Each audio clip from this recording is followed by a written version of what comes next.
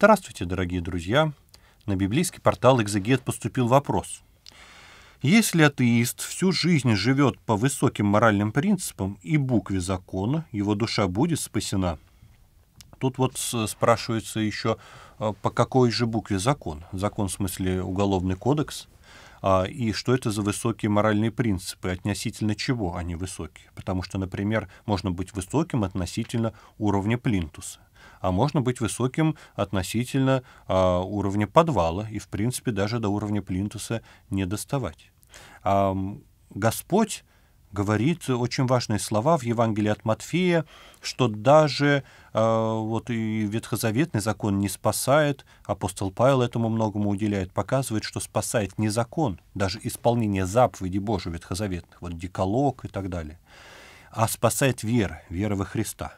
Потому что сам человек спастись не может, спасает любого человека Господь. Мы лишь, по сути, православные христиане, стараемся сделать все, чтобы Богу не воспрепятствовать нашему спасению души, не воспрепятствовать той победы над смертью, которую для нас Господь уже совершил, а мы ее своими грехами отвергаем.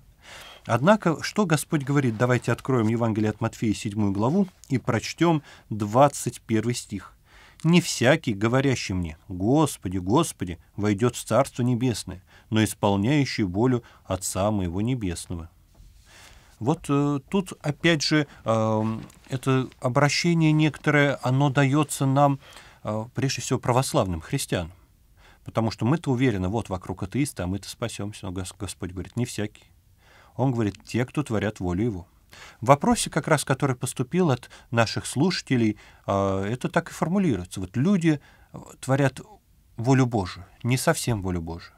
Потому что, например, может быть человек высоких моральных принципов, но при этом э, запросто он может э, убить человека в аборте. Да, согласиться на это. Человек может быть высоких моральных принципов, но он может э, честно, справедливо мстить врагам, ну, потому что зло там должно быть как-то там наказано. А человек может идти по букве закона, а, и правда его вот выполнять, как все прописано. И люди, которые слабо разбираются в законы, будут получать э, какие-то штрафы. А люди, нуждающиеся, которым там выписываются от государства субсидии, не подав какую-то бумажку, могут из-за такого человека, который строго букве закона следует, лишаться вот этих законных, кстати, выплат. Просто потому, что они не справились с бюрократией. Потому что вот этот э, суровый путь между какими-то своими внутренними представлениями совести, между законными предписаниями, он может быть урегулирован только любовью.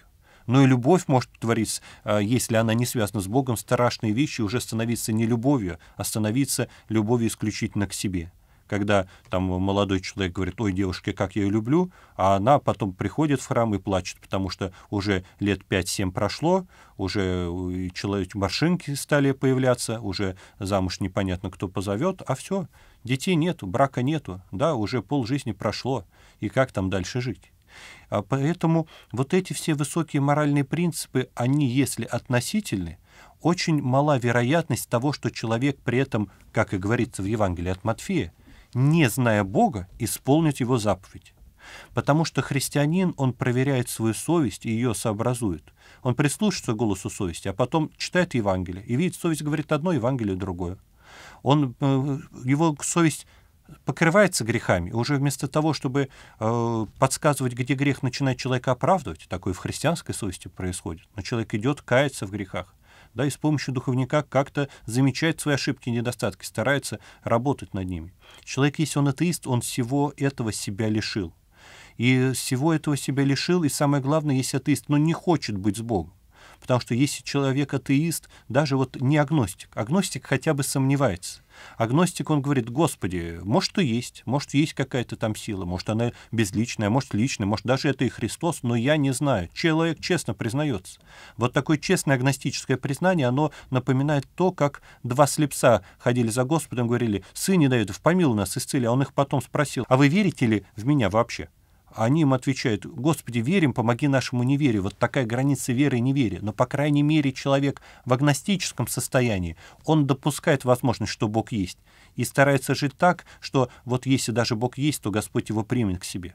Поэтому тут говорить, если об агностиках, а все-таки большинство людей, которые, может, даже атеистами считают, все-таки это агностики, то если человек не препятствует Господу себя спасти, то, конечно, шансы на милосердие Божие, проявленное в отношении этого человека, повышаются.